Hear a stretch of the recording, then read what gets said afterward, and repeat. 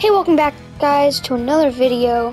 Today I'm going to basically show you how to get reflect, how to get the the lights to reflect off of buildings and stuff on PlayStation 5. It's actually really easy. Many people didn't think they know how to do this, but you can do it. So all you have to do is basically come down to options and then you go down to display settings and it'll say realistic beacons lights. You're going to click that on. And you go to career mode.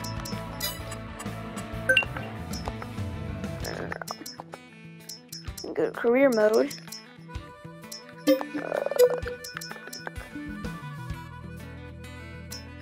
Let me go to career mode and we go into a world we're just gonna wait a couple seconds.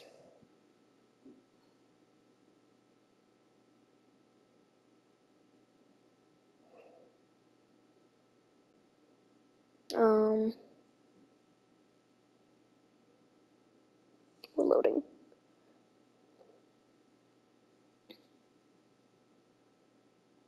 Okay.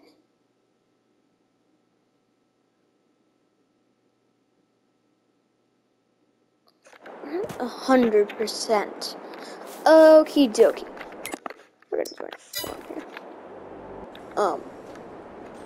So we're just gonna get our truck here.